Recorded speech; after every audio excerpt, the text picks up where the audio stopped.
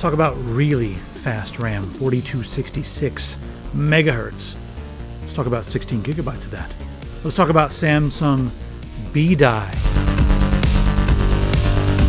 The program is brought to you by the Epic Pants Store, where you can get, uh, not pants, about some hardware. We got really cool t-shirts. When you get some ASCII art t-shirts, you didn't ask you for this, did you? Well, we've got them. You can come over here and get them. You'll be shocked. And and, and God is telling you uh, to fight your demons.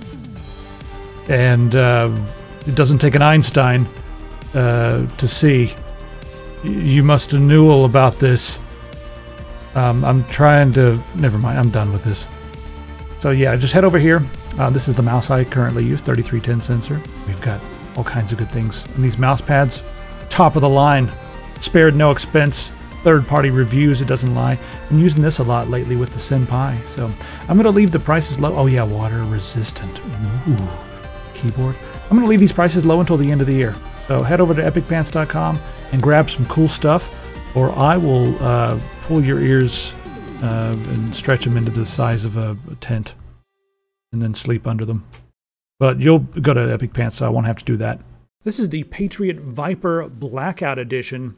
And what we're going to be looking at here today is two 8 gigabyte DIMMs of 4266 memory. Uh, the CAS latency I was grabbing in here was 18. And I'm going to test that against a few different things on a Ryzen system. Now, I've had this RAM for over a month, and I waited to make the video because I ordered a Ryzen 5950X, and I thought that would be a, a, better CPU to be testing with this because there's a limiting factor here. On the Ryzen system that I have right here, this is a 3900X, it will run at the maximum speed. You can go in and configure the XMP profiles, and there's a couple different profiles. You can set it up to run at 4266 CAS latency of um, 18, and it will run just fine but it's not going to lock to the Infinity Fabric frequency. If you're completely new to this and you haven't seen anybody else's videos on Infinity Fabric, so if you're running at 3600, you need to have uh, your fabric clocked at 1800. With the current CPUs and the motherboards, it does not like to go above 1800. So I got it to 1900, which means that we're going to be testing this RAM at a couple different frequencies. I'm going to do 4266 without being locked to the Infinity Fabric. Then I'm going to do 3900 and we're going to lock it to the Infinity Fabric at 1900. And then for good measure, I'm going to do 3600 with 1800 megahertz as the Infinity Fabric and we're going to keep the CAS latency 18 on all these just so we can see what kind of differences we're going to run into uh, with each of those configurations. I'll go ahead for people who do not care about all the details and tell you that it is minuscule but significant. I didn't tell you anything, I'm making you watch the video. You can get it in a variety of different flavors.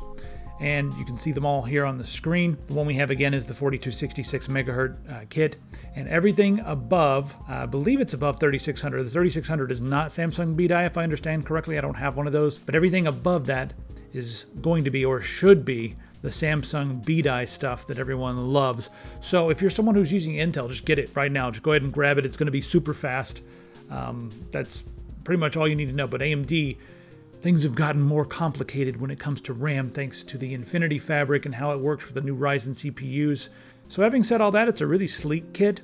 Love the blackout, minimalist design, no crazy RGB. There it is. And it also has a little bit of weight to it. It's got a nice heatsink on there. So I think it's some really professional, sleek looking RAM. But that's just my opinion. It's completely subjective, so take a look at it. If you want glowing lights and you want the inside of your case to look like a carnival, well, by all means, you do you, whatever you want. All right, so let's get down to these benchmarks. The first thing I did was try out Cyberpunk because I did RTX benchmarks and then I did benchmarks with RTX off. And I kind of wanted to do two different scenarios. So I tested this a few different ways. I just used the regular XMP settings that you can set in the UEFI, and that just gave me 40 to 66 with a CAS latency 18.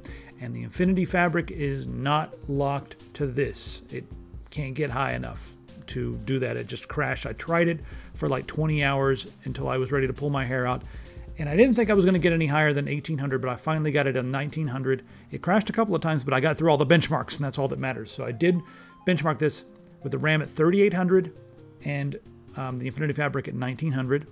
And then, just to see how much of a difference there would be, I also benchmarked it at 3200 with the Infinity Fabric locked to 1600 which seems quite a bit lower, but when you have the Infinity Fabric locked to half the speed of the RAM, you can get pretty good performance increases. And right here, let's take a look at Cyberpunk right off the bat at 4K.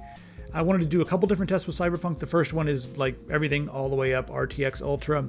Uh, the DLSS, that's a lie, I, I misprint. It's actually on performance mode, but so just remember that. But anyway, as you can see here, the performance is the best with it at 3800 with the uh, the fabric locked, but it's also slightly faster at 3200 with the Infinity Fabric locked. So it's just better to have the Infinity Fabric, fabric locked here with 4K. So let's move on to 1440. And 1440, it's a very close race between just the 4266 and the 3200.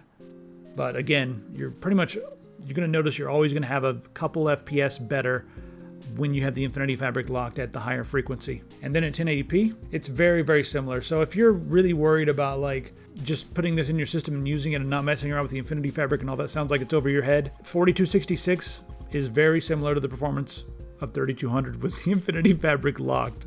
So it's not gonna be that big of a difference, but you get a little little boost there with the 3800. All right, these next uh, benchmarks were done on medium settings. And the reason I did that is because we already did it with everything gone crazy, everything turned to the max. So I wanted to do uh, this with just a little bit more, uh, I guess, overhead and just, or a little less overhead and see how it came out. And as you can see on the screen there, same story, pretty much no different. Let's try 1440p. And again, it's, it's, uh, this is the same story over and over again at 1440p. You're just gonna get the best performance at 3800. And I also want to note that I, I, did try a lot of these tests at 3600 with the Infinity Fabric at 1800 because I didn't think I was going to be able to get 1900 until I finally did. Um, and the performance was almost identical to 3800, but I usually got about uh, half a frame to one full frame better with 3800. So that's pretty cool. And then at 1080p here, uh, we can see that we do have a bit more muscle there with that Infinity Fabric locked at, uh, at 1900. All right, I wanted to test Dusk at 4K because Dusk is uh, terribly optimized. I'm not sure what the hell New Blood thinks they're doing, releasing a game that only gets 153.2 FPS at 4K. I'm livid. Should have gotten my money back for this ter terribly optimized game. It was a joke, just a little meme. But yeah, runs runs great. Uh, looks uh, probably the best looking game in the list. Mm-hmm. But as you can see there, we've got a big jump up in performance, but it's about the same with 3200 and the just unlocked Infinity Fabric at 4266. Moving along to Far Cry 5 at 4K. Far Cry 5 is a weird game that the performance seems to be very similar at 1080p and 1440p. Uh, 4K game almost doesn't matter. 1440p. Look at 1440p and 1080p. It's like almost the same results. It's kind of ridiculous, but yeah, same story again. Moving on to Shadow of the Tomb Raider, and this game again benefits from having the Infinity Fabric locked. We're just going to go through this a little faster because it's the same story over and over again. Pretty good jump up there at 1440p, an extra 5 FPS. Thank you very much, I'll take it. And only a few extra FPS at uh, 1080p, but still a nice boost. The Witcher 3. Since this game came out, they've optimized it a lot. I'm hoping that the same thing's probably going to happen with uh, Cyberpunk but um, this one didn't used to take advantage of so many different cores, but now it does. So the game runs great, but as you can see again, same story at 4K. And then 1440, we've got that's a pretty good boost there. We're almost getting an extra 10 FPS with the Infinity Fabric locked versus uh, just 4266. And then at 1080p there, not bad. You can see what it is on the screen. But it's the same story over and over and over again. And at 1080p, it's interesting. The 4266 actually beats the 3200 for a change. So there you have it. It's really a good idea to lock your Infinity Fabric, and I wish I could have tested this with the 5950X. I ordered that damn CPU about five minutes after it came out on B&H, and I was like, yes. A week later, I got an email from B&H saying, like, remember that CPU you ordered? Well, it's it's actually back ordered now, but your order's placed. No one else can order them, and you can expect to get it sometime before March. So yeah, I've decided not to wait anymore on this RAM. Maybe we can revisit it again once I'm not going to. I'm lying to you. I'm in January. I'm working on video games and doing news and stuff. I'm not going to be benchmarking RAM after after January. Sorry, everybody. There's plenty of other uh, tech channels that do a very good job of this stuff, and I'll be doing what I do best, which is uh, rolling around on the floor and making strange noises while no one's looking. So, do I recommend this um, for an AMD Ryzen system? I think that you'll be spending uh, maybe a little bit more than you should with the older generation uh, Ryzen products. You might want to just stick to getting like a 3600 speed memory and then spending the rest of the money that you would have spent on getting a better GPU. No one can buy GPUs. Just get the RAM. you can't buy anything. Just spend your money on RAM. Why not? There's no CPUs, no GPUs on the market. You can't buy anything. What a time. What a time we live in. So for Intel systems, yeah, it's going to be really nice RAM. But for the next generation of Ryzen products when you can finally get those. I think this RAM will be um, a better buy, but I don't have one of those new CPUs to test. So I'm going to say probably a good idea for the new Ryzen stuff if you want to get it now. If you're planning on getting a Ryzen, uh, you know, go right ahead. And um, if you're just going to stick to old school Ryzen stuff, you're probably okay with 3600. I know some companies don't like to hear that, but um, if you lock your Infinity Fabric at 3600, you'll be doing better than you would at 4266 without it locked, and we saw that in most of the game, um, most of the game results, except for one or two 1080p results here and there. So that's going to be my take. Beautiful RAM, really fast RAM, Samsung B die, and it's got a nice, sleek look. So it's got a lot of things going for it. Just the current generation Ryzen can't keep up with it. Maybe the next gen will. You have any questions, put them in the comments. Head over to epicpants.com, grab yourself a t-shirt. One of these is the, this one's gone. Sorry. There might be a couple of them left. Check on Epic Pants. Maybe there are. Get a mouse, a keyboard.